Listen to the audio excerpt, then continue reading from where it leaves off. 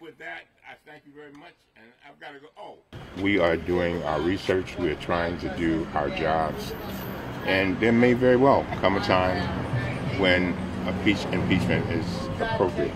Uh, I've said many times that uh, one of the lines for me would be when, when and if the administration disobeys court orders, because I think uh, tr- uh, then we have no, no choice.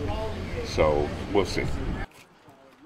One la do you think there's a possibility that it could just be a misunderstanding between you and the president? I'm not going there.